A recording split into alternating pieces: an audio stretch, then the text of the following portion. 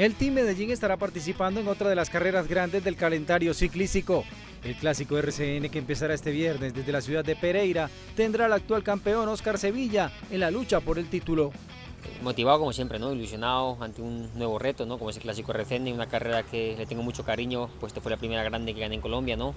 en el 2008, eh, el año pasado conseguí mi tercer título para los 10 corredores del Team Medellín esta carrera es muy importante por su recorrido y representación nacional. El Clásico RCN es una de las carreras más, con más prestigio y con más historia en el calendario nacional.